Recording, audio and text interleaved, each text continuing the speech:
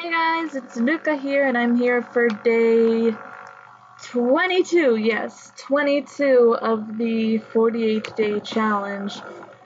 Uh, if my hair looks a little bit wet, it's because the day I'm recording this, I just took a shower, so, uh, yeah, my hair might be looking a little wet here, I'm sorry. so, yeah, for uh, today, for the 48 day challenge, I am doing member I relate to the most.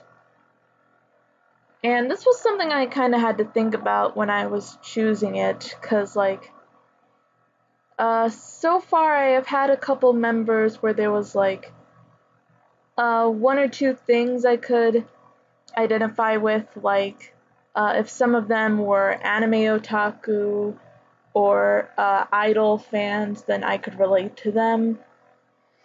Uh, but I mean, I ended up uh, going with uh, the one so far that I have found that I can relate to the most at this point is Okada Nana.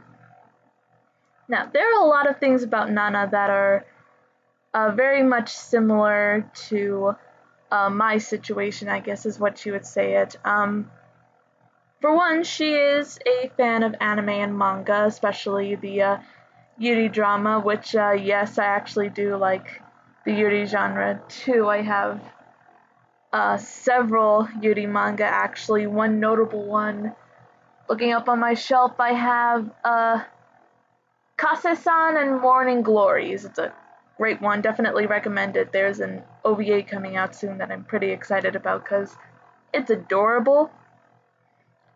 Uh, She's a very diligent and hard worker. Um, me too. I have had moments where I like really work hard to uh, do something, even though there are moments where I kind of like I do sometimes procrastinate. I don't really like to say that I procrastinate, but if I'm like falling behind on something, I really do my hardest to get out uh, as much work as I can for it and plus, uh, we both like uh, we both like acting. We both like doing uh, theater. Although I haven't seen her in too many stage plays yet, I think she's going to do a lot more. Uh, she does really want to be a, uh, a singer and an actress, which that's kind of the same for me too. I am aiming to be an actress. And you know, she was an AKB fan when she was growing up, so that was thing. But um, what made me come to uh, find her a lot more relatable was uh, after I watched her documentary and knowing what she was uh, going through personally. Uh, we talked about it more uh, in that video when we were discussing Nana's documentary, but yeah, I mean, it was it was really rough thinking about her going through stuff like that, which I've personally never been through that that exact thing anyways, but I have had moments where I've uh, thought negatively about myself. Like right now I'm right now I'm content as I am. I do want to work harder so that I can reach my personal goal, but I have been to a point where I was kind of like self-conscious or thinking negatively about how I was. So seeing Nana, seeing her working so hard towards her dream and having you know, even though she is struggling, she's still working her hardest because she wants to make her fans happy. And as much as she is struggling, AKB really is her happiness. So that was just something that made me like Nana even more than I already do.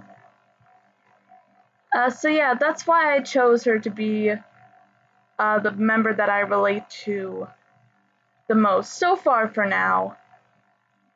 Uh, I was trying to look. I was actually going through like Wiki 48.